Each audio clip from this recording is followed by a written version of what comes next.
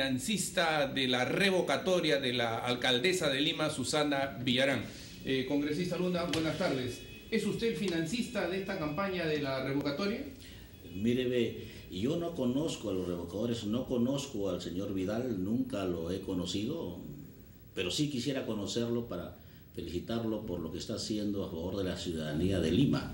Definitivamente yo no estoy en esto de la revocatoria, pero francamente si lo estuviera y fuera, lo que no es cierto, estaría orgulloso y lo diría orgullosamente porque eh, la alcaldesa debe ser retirada por incapaz. Soy ciudadano de San Juan del Lurigancho y el túnel de 8 metros ya van a ir a dos años y hasta ahora no tenemos salida de San Juan del Lurigancho. Realmente eh, eh, me parece que es una cuestión jalada de los pelos y tratando de enturbiar la revocatoria que los señores han denunciado y tienen denuncia creo que hasta penal.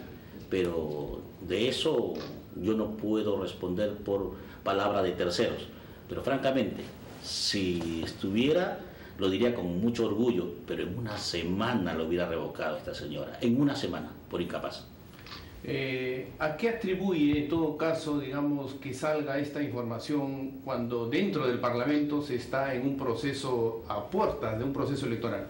Es un golpe bajo hacia mi persona, pero están equivocados porque la revocatoria es un derecho legal y moral del pueblo para cambiar sus autoridades cuando ven que hay incompetencia y el pueblo está tratando de solo de defender sus derechos consagrados en la Constitución y las leyes. No existe nada ilegal.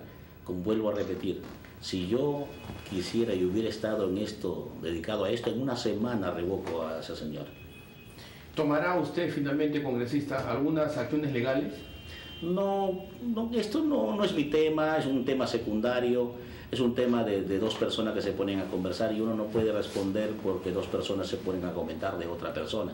Si así fuere, imagínese los, los juicios que tendríamos que tener, ¿no? Esas son cosas, lo que yo no, no entiendo cómo la Fiscalía no ha tomado cartas en ese asunto para ver cómo se puede chuponear tranquilamente a, un ciudadano y cómo se puede, quién financia eso, a quién beneficia eso. Eso es lo que deben, eso es lo ilegal y lo inmoral.